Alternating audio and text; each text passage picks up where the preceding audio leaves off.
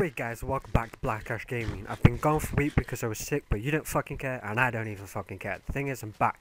Before I start recording all those uninteresting episodes again for you, I want to show you this one video. Whilst I was sick, I created my own world using the new snapshot 12W34B. Now, you have some awesome stuff in this uh, uh, snapshot. You have uh, carrots, potatoes, item frames, you can colour your armour, colour your wolves, you can go bring things through teleports and all that stuff.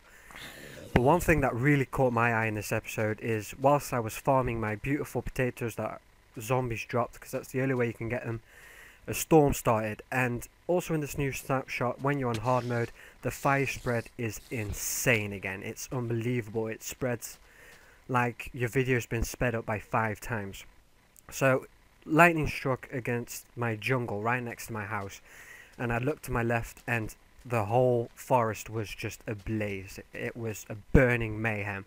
I got a new PC and I play like on 250 FPS, but because of this forest fire, I was running around on 40 FPS, and that's how I kind of, you know, got suspicious that something was going on. And when I turned to my left, everything was on fire. There's even a creeper there standing on a log. He has no idea what he's got to do. He's panicking, you know.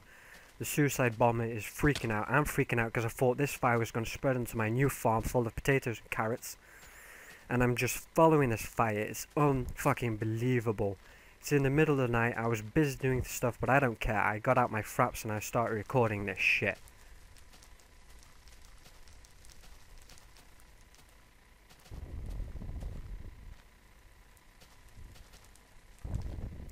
So I'm going to climb up a tree that's actually ablaze. I'm risking my life to get footage of this. It just spread. The fire started where I was standing before I started talking. That's where it started and it's just spread for meters and meters it spread and it won't stop. I was trying to be an eco warrior and I was trying to extinguish all the flames chop down leaves so it can't spread, it's, it's not going to happen anymore. If a fire starts in your forest, you're fucked. But luckily it started to rain and the fire was extinguished, all of it was gone in one second.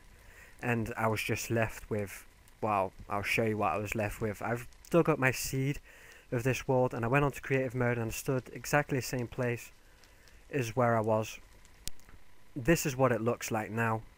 All nice, beautiful home for trees, for the ocelots, for the cows, the pigs, the chickens, the creepers, all those little critters.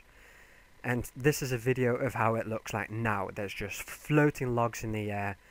Everything, it's just all broken. Ocelots have got no homes. They keep running around my house now because they have nowhere else to go.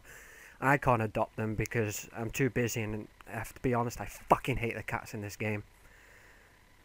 So, this is what happened to me whilst I was sick. This is snapshot 12W34B.